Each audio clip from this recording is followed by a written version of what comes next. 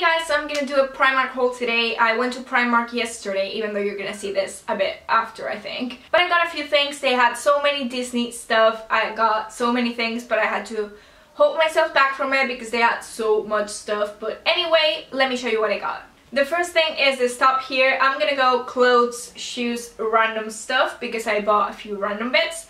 But the first thing is the top. This top right here is just great with a few little daisies in it. It's sort of cropped but not really. Like it goes to that length that if you're wearing high-waisted jeans it goes like just that length of the jeans. So like you're not really showing your tummy but it's not long that you have to tuck it in.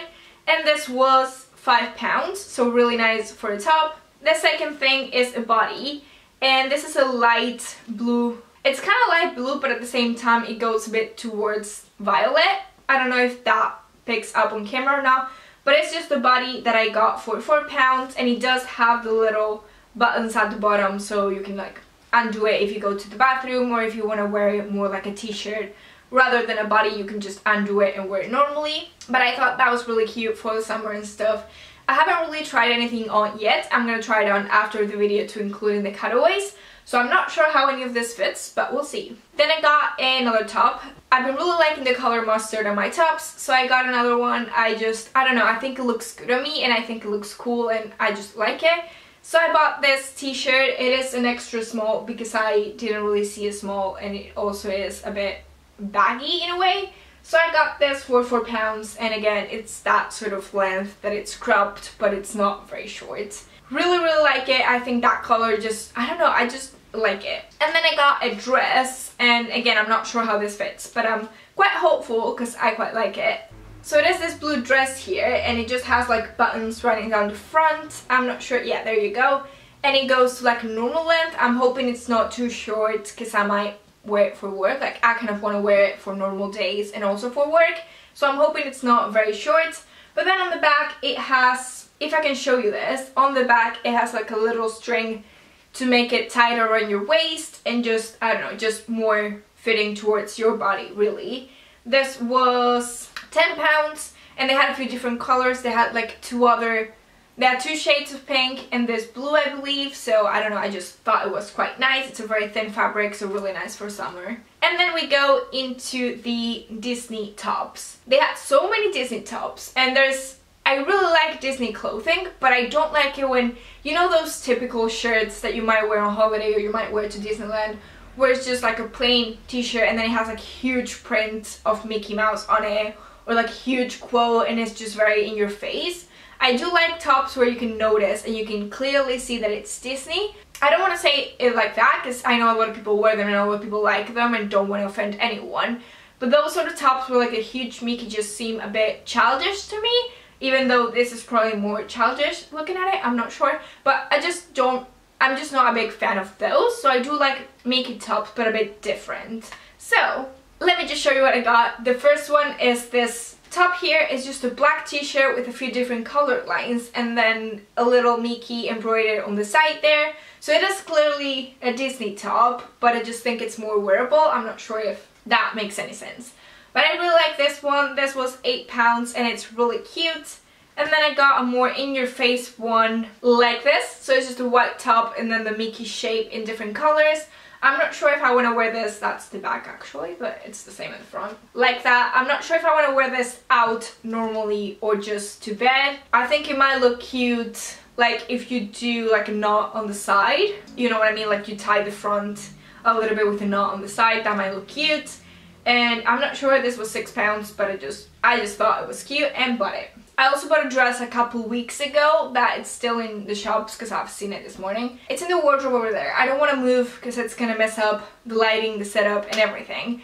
But I will show it in the cutaway here. I'm going to a wedding in August and I bought another dress but this is another option for the wedding. I'm not sure what to wear. I'm not sure if it's wedding appropriate or if it's not.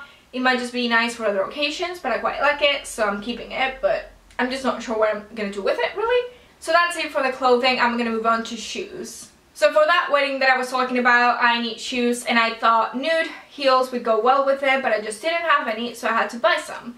The thing is, I bought two options. I'm not sure which ones I like, and at the minute I'm liking both for different things, so I didn't want this to happen, I didn't want to keep both, but it looks at the minute like I might keep both. I'm not sure. If you can give me your opinion on what you think. So I got this pair here, and this is my least favorite at the minute because I'm not a big fan of the platform things now. They're just nude. These were two, 12, two, I wish they were two pounds, but they were 12, which is still really good, but not two. Nude heels like that with the little platform thing, which I'm not the biggest fan of at the minute. And the second pair, they look like this, and they're just, again, nude heels.